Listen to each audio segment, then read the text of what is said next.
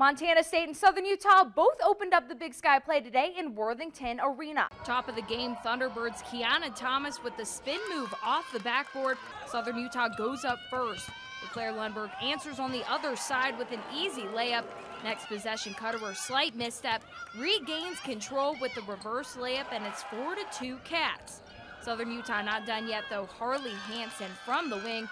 It's good. And so is Lundberg's on the other side for the Bobcats. Tight game. Jumper by Lundberg puts the Cats up 11 to 7. And Hallie Wright gets the hook shot to fall. And the Bobcats, they'll win this one 69 to 64.